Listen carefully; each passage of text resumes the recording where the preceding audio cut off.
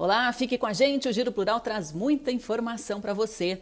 A Secretaria Municipal de Saúde de Curitiba ampliou a vacinação infantil contra a Covid e convoca um novo público para a primeira dose, as crianças com 7 anos.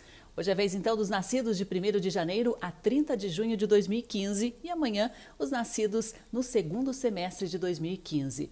Só o público infantil que foi convocado pode ser vacinado. Quem perdeu a data deve esperar a repescagem, que depende do estoque ou da chegada de um novo lote. A repescagem só vale para quem tem 12 anos ou mais e perdeu alguma data. Fique atento ao cronograma, acesse lá o nosso site que tem todos os detalhes e o atalho para você encontrar os grupos convocados e os pontos de vacinação. É plural.jor.br.